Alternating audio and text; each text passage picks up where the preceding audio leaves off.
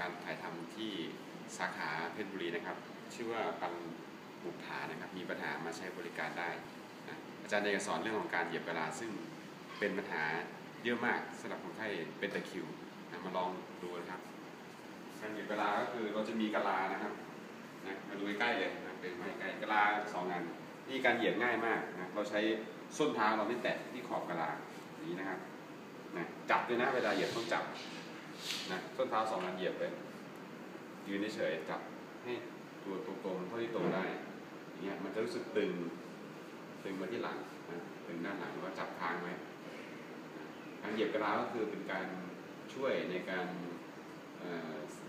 ยืดน่องเหยียบประมาณสักห้านาทีนะครับพอเราเหยียบประมาณห้านาทีเสร็จแล้วเราก็เปิดส้นเท้าขึ้นนะเราก็ใช้การนวดนะนวดด้วยกะลาด้วยน้ำหนักเราลงไปที่กะลา ให้เหยียบตอนตอนเย็นๆก็ได้ คนชอบเป็นตะคิวตอนเย็นหรือตอนตื่นเช้าขึ้นมาก็เหยียบนวดด้วยก็จะดีจะลองฝึกดูโอเค